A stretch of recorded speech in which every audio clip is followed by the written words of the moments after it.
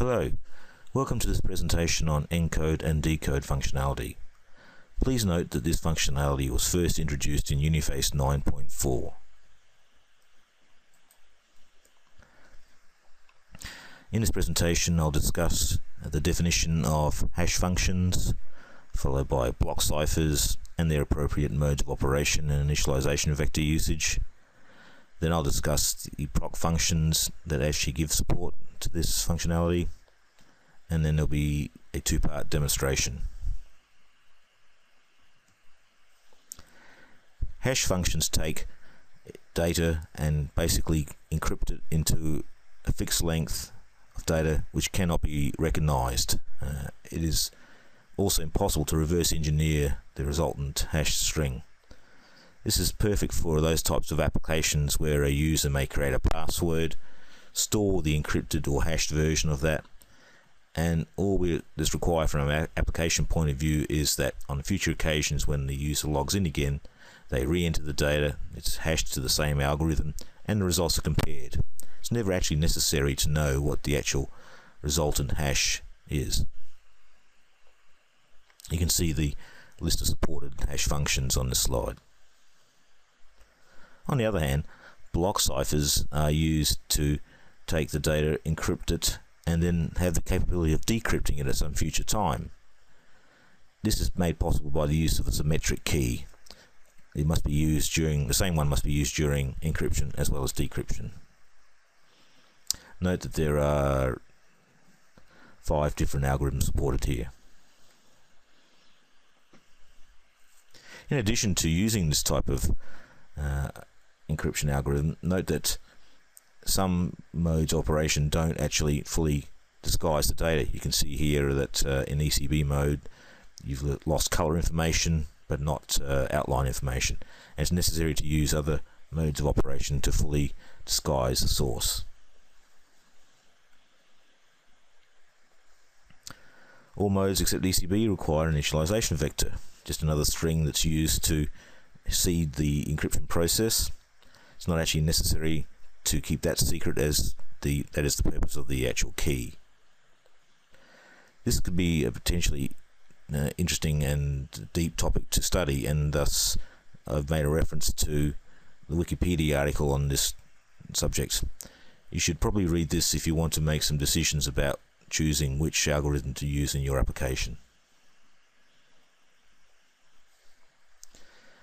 The actual 4GL proc statements used are $encode and dollar $decode. They share the same uh, syntactic requirements. You see there that the algorithm is the first parameter, followed by the source of the data that's going to be processed, and optionally, the key, mode, and initialization vector parameters. These are dependent on the choice of algorithm.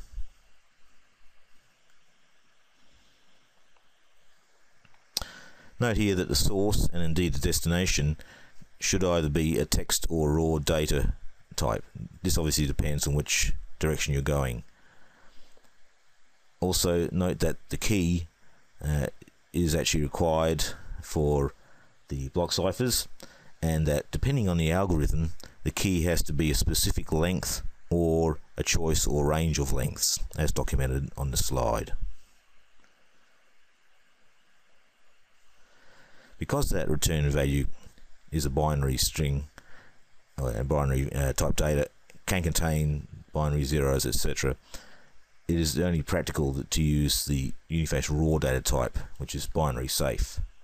Of course if the algorithm is of type base64 hex URL or UString you can use a regular string data type in which case the data is returned in UTF-8 Unicode um, coding Note the URL um, type is actually used, uh, algorithm is actually used to take the situation where you might have um, web URLs or query strings that contain blanks in them. This will automatically replace those with the percent %20 to make it safe to use as a URL.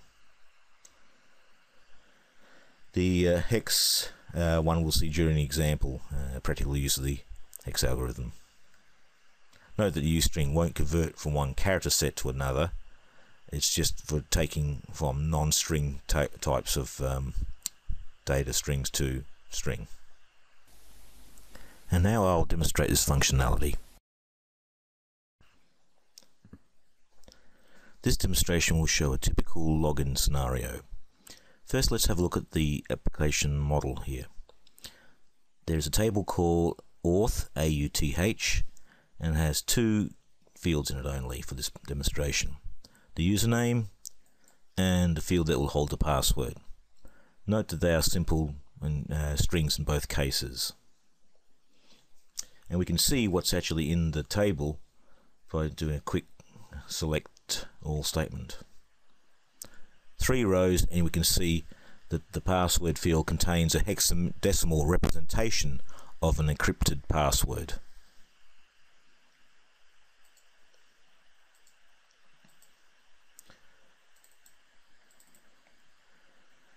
Here is the form that we will use for test. As you can see over here in the structure pane, the auth entity is painted, but in fact the three fields there are not from the database at all. There's one field to accept input for the username, one field to accept input for the user password, and they'll clearly enter that in plain text for encryption, and the login button to actually do the processing of that. We can see if we actually have a look at the password field is described as non-display and the edit box setting shows no display character 42 which equates to the asterisk here.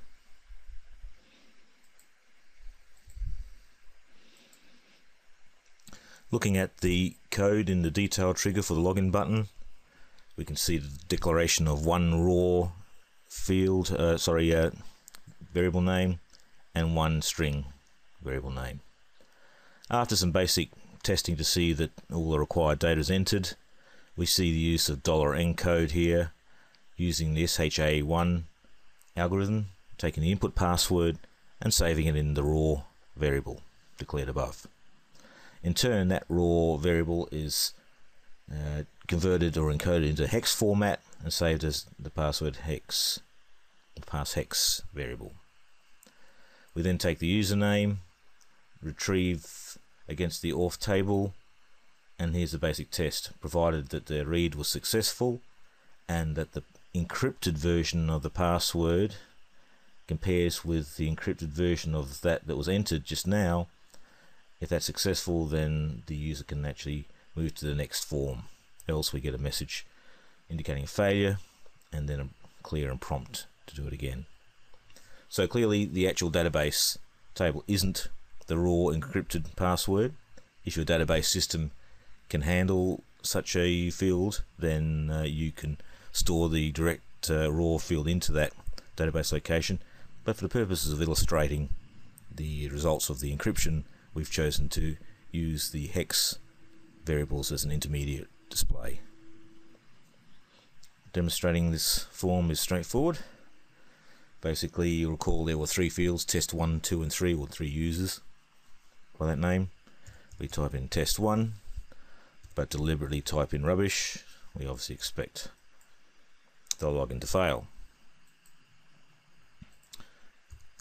If we repeat that, test 1, test 1 uh, is the password I know, and the login is successful. And we move to the next form, activating demo. The demo form will comprise the second part of this demonstration and will show block cipher usage in action.